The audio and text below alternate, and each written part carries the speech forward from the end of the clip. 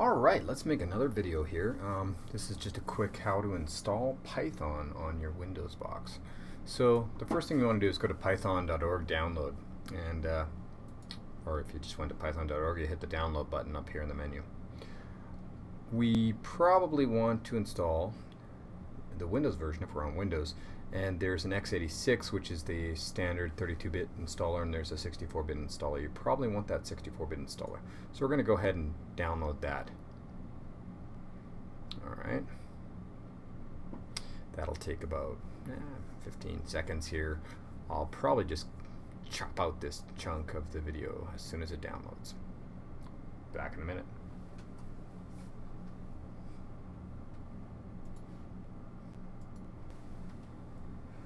And we're back. So we'll go ahead and run this installer.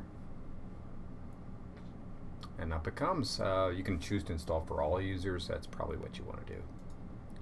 Uh, where do you want to install it? Again, as always, just stick with the defaults.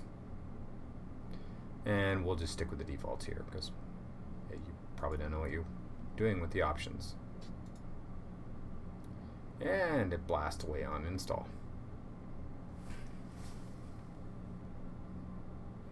Here we go. So what we're going to do is we're going to get this finished installed and then the idea is we'll do command line environment just like we're on Linux or Mac. We'll open up our Cygwin terminal windows and try to uh, Python run. You'll notice that we're using Python 3. We're using Python 2. Um, if you go back to that download page, it's showing Python 3.4 and Python 2.7. The Python 2 execute or the installers are down here below. Um, we're switching and we're using Python 3. I have been using Python 3 in my classes since January. So uh, I guess we'll wait for that to finish and then I'll come back. Alright, see you in a bit.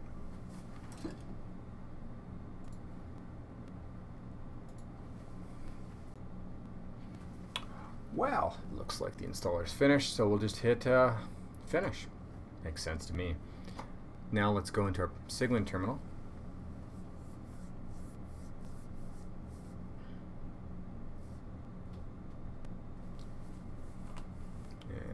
go. My machine's getting too slow. It's time for Ken to look for donations for a new computer. I should probably do some hard drive maintenance. Alright.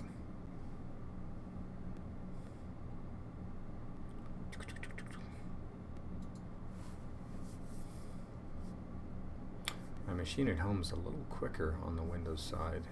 Um, I'm usually using this in Linux, so I don't, don't yell with this Windows so much. So there we go. So now we should be able to just type Python. And there's no Python found.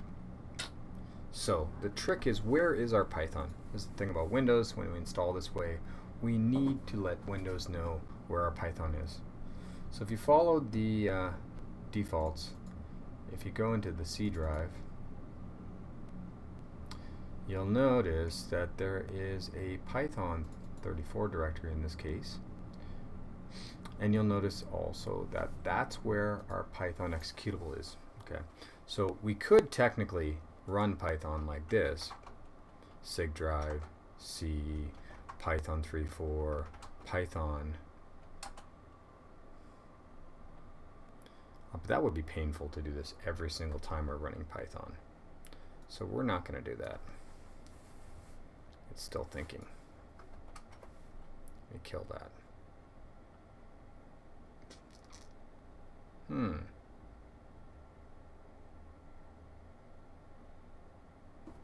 What I really want to do is Python minus V.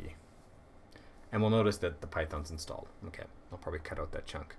What we need to do is modify the path in our Windows install. So I'll be back to that in just a second here.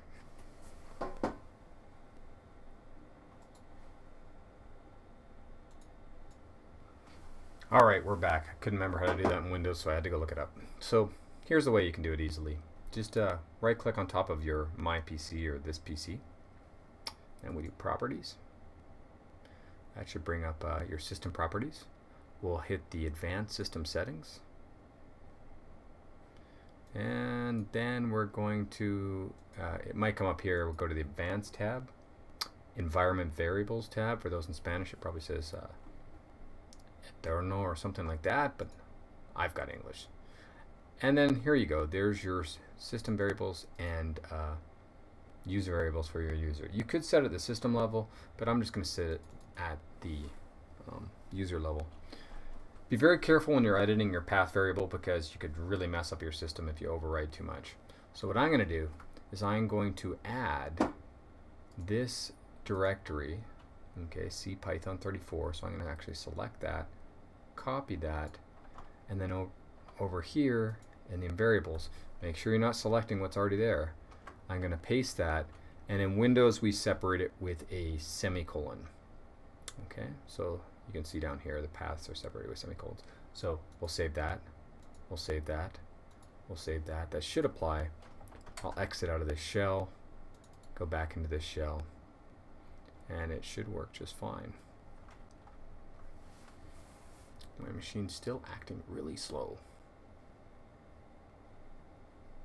And now I should be able to go Python minus V. And there you go, Python's installed and running from the command line without having to type the entire path to the Python executable. That'll be it for now.